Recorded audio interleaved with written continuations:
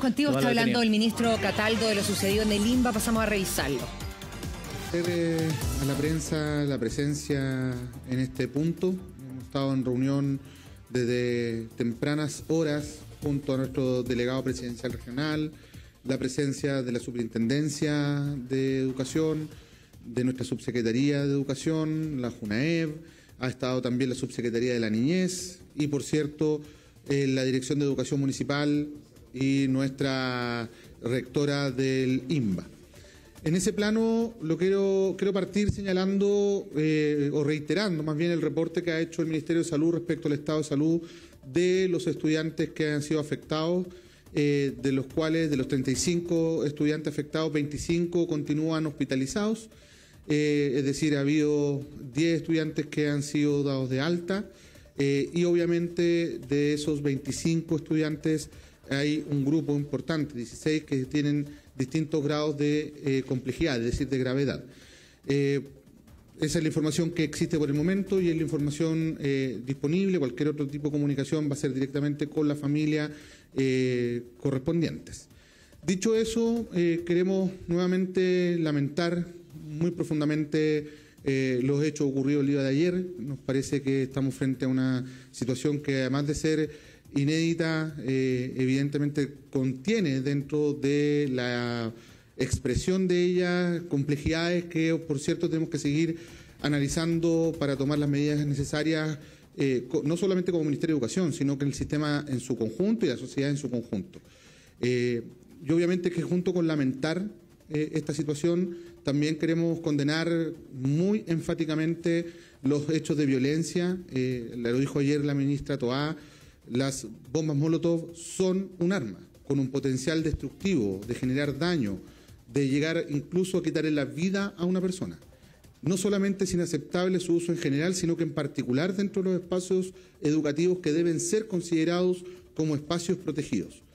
Eh, en ese predicamento hemos estado trabajando desde hace ya bastante tiempo con la eh, Subsecretaría de Educación, con el Intersector, ha sido un esfuerzo principal, y quiero destacarlo, de la Municipalidad de Santiago y particularmente del equipo de gestión del INBA. Eh, en este sentido, yo quiero ser también enfático en señalar, y eso lo veíamos a través de los resultados de la propia Superintendencia de Educación, eh, donde podemos considerar que en el último tiempo hemos reducido de manera significativa los hechos de mayor connotación. Eh, hace, si el año pasado tuvimos tres episodios de violencia importantes, significativos, este año llevábamos cuatro. Queremos llegar a cero. Pero evidentemente esto es un proceso que está en curso y que no y la disminución de esos datos no son no son casuales, no ocurrieron por arte de magia, ocurren porque hay acciones que se despliegan y en eso queremos ser no solamente enfáticos, sino también queremos llamar a la responsabilidad de la sociedad respecto a cómo abordan estos temas en la discusión pública.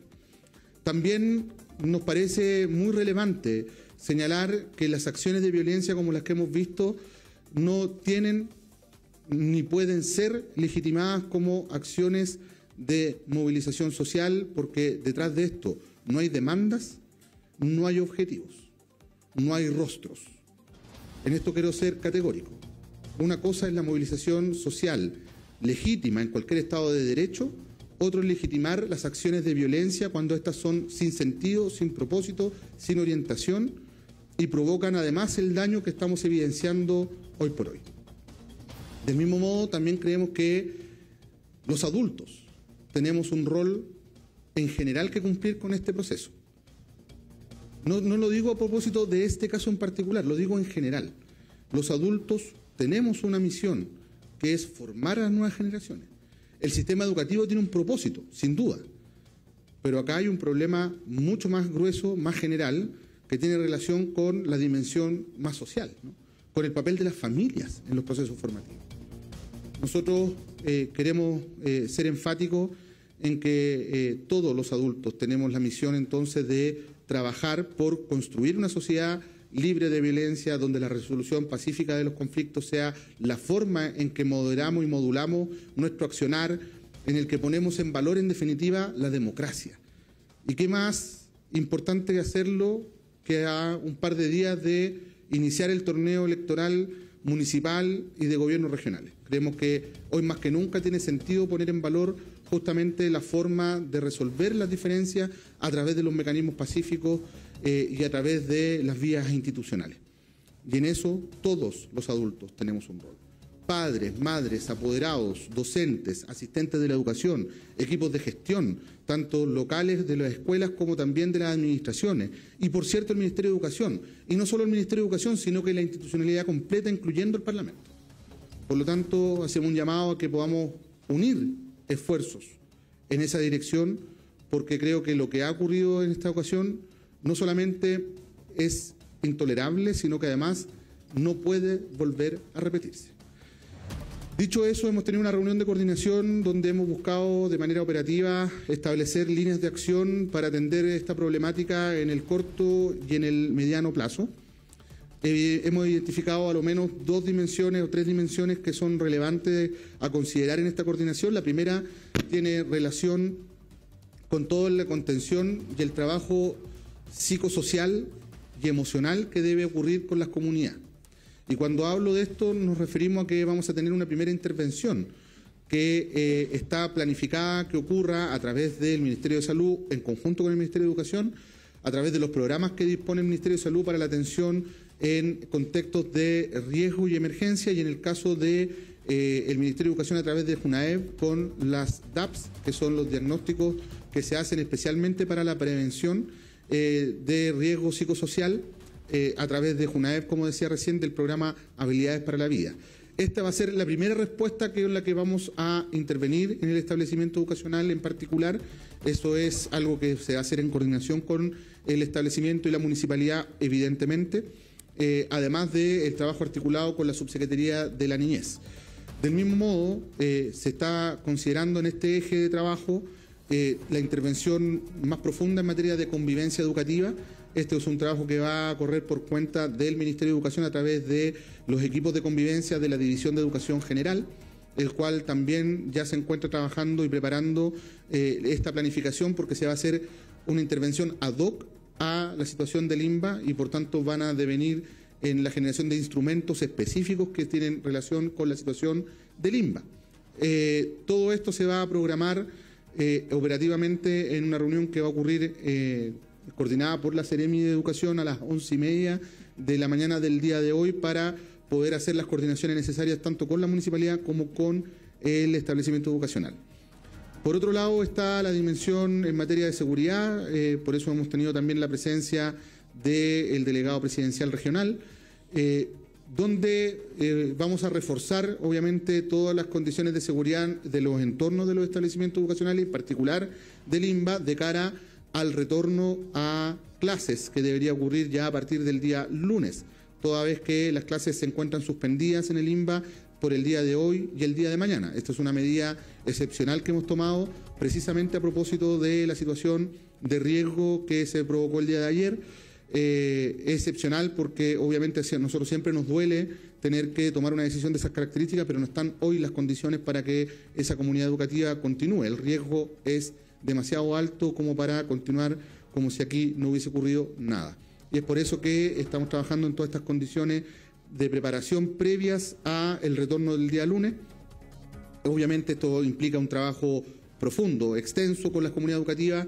El día de ayer me tocó, junto a la ministra Aguilera, estar en establecimientos de salud, conversar con algunas de las familias de los niños y niñas, de los niños afectados. Eh, y, la verdad es que se requiere un apoyo y de un trabajo importante con ellos. ¿no? Ha sido bastante impactante para todos nosotros y la conmoción que tienen hoy día los familiares de los estudiantes afectados es importante. Por eso que lo primero es que hoy día estamos concentrados en esa emergencia, en que los estudiantes salgan adelante en su estado de salud, en que podamos ayudar a la familia a sobrellevar esta situación que es extremadamente delicada eh, al mismo tiempo estamos planificando el retorno, estamos planificando cómo vamos generando las condiciones para trabajar con las comunidades, para retomar lo antes posible las, características académicas del trabajo. Eh, en ese sentido también estamos a disposición de la municipalidad y, de del, y del liceo de trabajar administrativamente en todo lo que corresponda, con los cierres de año, las calificaciones, todo lo que implique generar las condiciones para el adecuado cierre del año escolar 2024 y por otro lado también asegurándonos de las condiciones de seguridad y materiales que deben eh, darse para efectos de esta normalización. Eso implica también que estamos disponiendo recursos para la inversión de infraestructura, es decir, que hay que reparar eh, lo dañado para que los baños estén habilitados.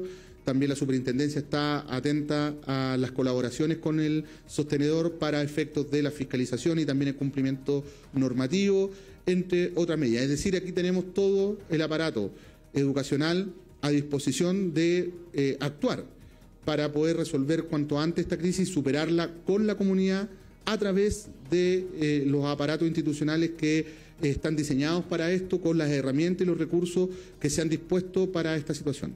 Vuelvo a reiterar, estamos frente a un hecho lamentable que nos llena de dolor, es un dolor que afecta no solo a la familia, aunque principalmente a la familia, afecta a una comunidad educativa completa, afecta a un sistema educacional completo, afecta al país. Esto es un daño a un patrimonio fundamental de nuestra patria, que son nuestros jóvenes, nuestros niños, nuestras niñas. Pero también estamos frente a un hecho que no puede ser tolerado. No hay ninguna razón para justificar el uso de armas incendiarias. No hay ninguna razón para justificar la violencia. No hay ninguna razón para calificarla como movilización social, toda vez que incluso detrás de esta acción ni siquiera hay demandas no hay rostros, no hay propósitos. Por lo tanto, también quiero hacer un llamado a que no validemos estas acciones sin sentido, estas acciones irracionales y señalar, obviamente, que todo esto es materia de investigación, la Fiscalía está trabajando en esto, el día de ayer estuvo todo el día desplegada en la investigación, en entrevistas, en análisis, en recoger antecedentes por lo tanto, no nos vamos a referir en particular a esos detalles, eso es materia de investigación y por tanto está en manos de la Fiscalía.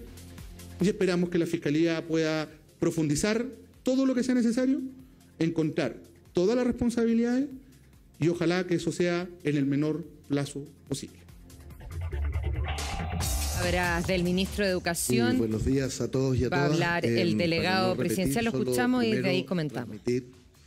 Que estos hechos efectivamente son de la máxima gravedad, son intolerables y en ese sentido vamos a trabajar activamente con el propósito de que se determinen todas las responsabilidades que hay detrás de estos hechos y es por ello que la misma jornada de ayer, en comunicación, en coordinación con la ministra del Interior, hemos resuelto la presentación de una querella criminal contra quienes resulten responsables de los hechos ocurridos.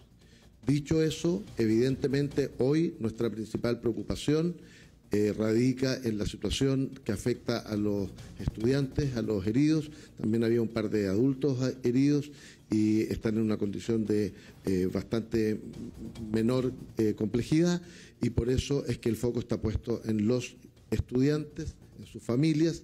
Vamos a tener un plan permanente de acompañamiento con el propósito de enfrentar el impacto emocional y, para qué decir, el impacto en materia propiamente de salud que esto implica. Adicionalmente, eh, tal como ha dicho el ministro, vamos a trabajar colaborativamente y en ese sentido, desde la delegación hemos coordinado con todas las seremis, eh, las seremías que corresponden con el propósito de ponernos a disposición de la comunidad para restablecer un espacio de encuentro, de convivencia de las comunidades educativas que permita ir progresivamente retomando sus actividades. Y finalmente, eh, como lo dijo el ministro, en materia de orden público, por supuesto queremos que hechos de esta naturaleza no se repitan, ni de esta naturaleza ni otros de orden público que afecten la convivencia, que afecten el funcionamiento de las actividades académicas y, por cierto, del normal funcionamiento de la ciudad y en ese sentido vamos a seguir trabajando en un plan preventivo con el propósito de minimizar alteraciones, afectaciones al orden público. Quiero en ese sentido también insistir algo que dijo el ministro en materia de orden público. El INBA había tenido, la verdad, una evolución extraordinariamente favorable que hemos agradecido y que hemos valorado porque ha habido un trabajo al interior del establecimiento que se tradujo en una disminución muy significativa de afectaciones del orden público de, mayor envergadura y en particular de hechos violentos.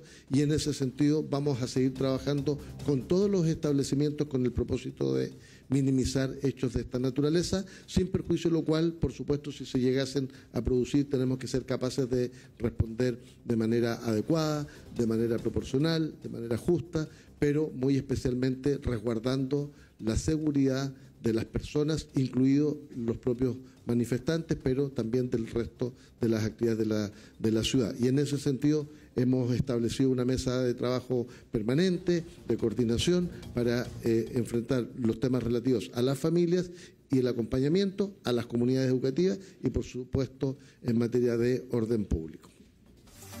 Y escuchamos entonces las palabras de Gonzalo Durán, delegado presidencial entonces. Eh, Bajemos un poquito lo que acabamos de escuchar. Ahí eh, tanto el delegado presidencial como el ministro de Educación, por supuesto, condenando los hechos de violencia que no se justifican, como no se justifican bajo ninguna circunstancia, eh, ni tampoco como manera de manifestación, para que quede bastante claro. Sí, eché de menos ahí, me imagino que va a venir en las preguntas una mayor condena a los adultos. Acá eh, señalaban que hay adultos responsables detrás de lo que está pasando. Habían acusaciones incluso que eran los adultos o apoderados los que pasaban los aceleradores.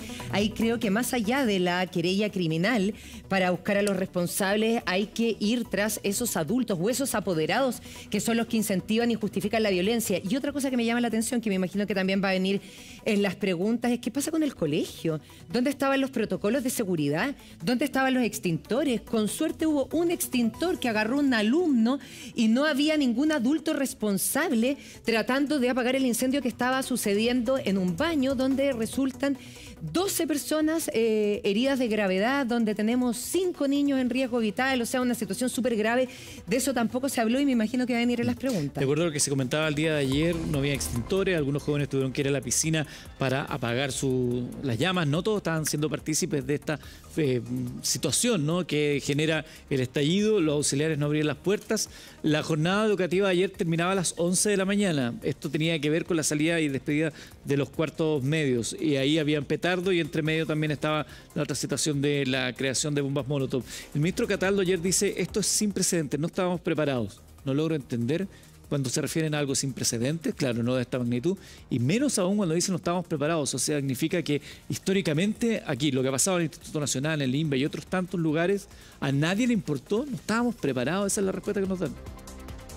¿A quién vamos a escuchar ahora? Perdón. Al eh, director de Educación Municipal lo pasamos a escuchar no hay más de entre cancelaciones de matrícula y expulsiones como sanciones, las sanciones más gravosas por faltas cometidas, no hay más de 10 casos. En el periodo que va de mayo de 2022 a septiembre de 2024, eh, tenemos más de 50 casos eh, de sanciones gravosas que han sido dolorosas, sin duda. No es el propósito del sistema escolar no es estar eh, generando expulsiones ni cancelando matrícula. Pero eso significa que hemos abordado las faltas. Hemos abordado la falta, no hemos mirado para el lado, muy por el contrario. Nos estamos haciendo cargo de eso y creemos que ese es el camino que hay que seguir desde el punto de vista de lo escolar. También nosotros como municipio hemos presentado entre 2022 y a la fecha al menos 17 querellas criminales por hechos de violencia de este tipo, que como muy bien lo dijo el ministro, no tienen que ver con demandas ni petitorios estudiantiles. Y quienes así lo han planteado, lo que han hecho finalmente es confundir a la opinión pública.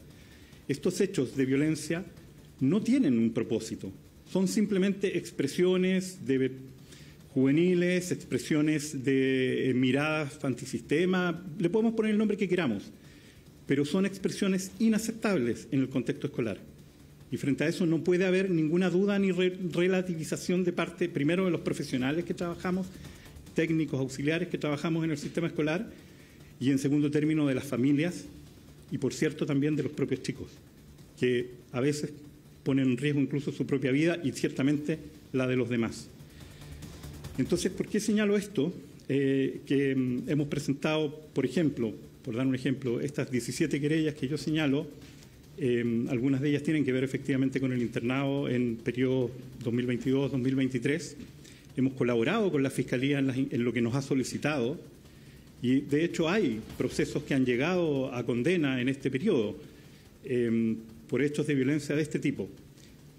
Señalo esto porque nosotros como municipio tenemos la expectativa que esta situación, esta tragedia que ha ocurrido en el día de ayer, con 35 chicos afectados de manera grave, muchos de ellos, va a significar un antes y un después. Aquí se requiere no solo la operación de lo escolar, que es lo que nosotros estamos haciendo y lo que podemos hacer con las herramientas que tenemos, y lo que corresponde que hagamos, porque somos educadores, no somos policía, no somos fiscales. En esa línea, eh, como digo, tenemos la expectativa que eh, este va a ser un antes y un después. Y quiero señalar que el año 2022, en octubre, en reunión con el Ministerio del Interior, la alcaldesa Irací Hasler solicitó al Ministerio eh, que pudiera intermediar con la Fiscalía Nacional para que se nombrara un fiscal eh, de dedicación prioritaria, exclusiva, para abordar estos hechos de violencia singulares que ocurren en establecimientos de Santiago, pero también de Providencia y a veces también en otras comunas.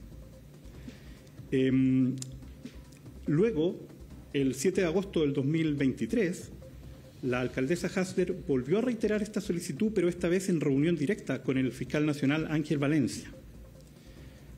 En el día de ayer, el alcalde subrogante, Claudio González, de la Municipalidad de Santiago, se comunicó con el fiscal Ángel Valencia y le planteó que seguíamos nosotros creyendo que esto es una necesidad imperiosa, más en este momento, y el fiscal se comprometió a que efectivamente eso va a poder ocurrir.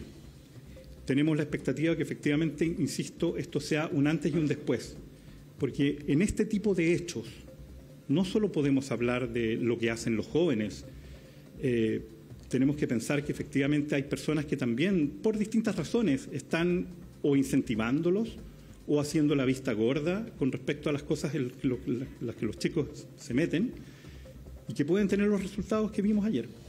Nosotros no queremos y vamos a trabajar y vamos a seguir trabajando porque esto no vuelva a ocurrir ni ocurra en ninguno de nuestros establecimientos educacionales y ojalá en ninguna parte del país. Por eso este es el momento imperioso en que como sociedad chilena, lejos de cualquier eh, cálculo o posición mezquina, tenemos que hacer que los órganos del Estado, el aparato público y el sistema escolar actuemos, operemos. Y eso es lo que estamos haciendo hoy día Agradecemos profundamente la reunión a la que hemos sido convocados por el Ministerio de Educación para la coordinación con la delegación presidencial, con quien también hemos estado permanentemente coordinados, con eh, la Seremi de Educación, ciertamente, la Seremi de Salud, en fin, los distintos eh, órganos del Estado que están hoy día no solo colaborando en esta emergencia, sino que venían ya también muchos de ellos colaborando en coordinación para prevenir y evitar que se produjeran hechos como estos. Aprovecho también de agradecer a carabineros, agradecer a bomberos, al personal de salud. Sin la colaboración eh, expedita que tuvimos en el día de ayer, probablemente estaríamos, tendríamos mucho más que lamentar de lo que ha, ocurrido y lo que está ocurriendo en este momento. No podemos olvidar, y lo dije al inicio, que el foco en este instante es la recuperación de nuestros estudiantes. Y por último, quisiera, antes de darle la palabra a, a la rectora María Alejandra Benavides, quisiera destacar el tremendo trabajo del equipo directivo del internado, pero también de su comunidad, comunidad que hoy día está profundamente golpeada y consternada, con justa razón, pero agradecer ese trabajo que ellos han venido haciendo, que es un trabajo franco, de, de, apertura, de diálogo. No ha habido ninguna demanda que los estudiantes hayan querido plantear, carta, petitorio que hayan querido levantar ante la Rectoría y también en colaboración nosotros con ellos hacia el municipio que no haya sido atendida, que no haya sido conversada. En este periodo se han hecho inversiones, mejoras. Ayer el, presidente de los exalumnos, una persona que no tiene que ver con, directamente con el mundo profesional nuestro, digamos, no está a cargo. Él recordaba en un programa radial toda la cantidad de cosas que estamos haciendo, con apoyo ciertamente de muchas entidades, entre ellas los exalumnos del internado, eh, que, que estamos haciendo en este periodo en términos de mejorar la iluminación, de mejorar los baños, las salas, el propio internado mismo. El año pasado teníamos 40 internos y hoy día tenemos 100 internos. Eh, o sea, 9 de la mañana con 4 minutos. 9 de la mañana con 4 minutos.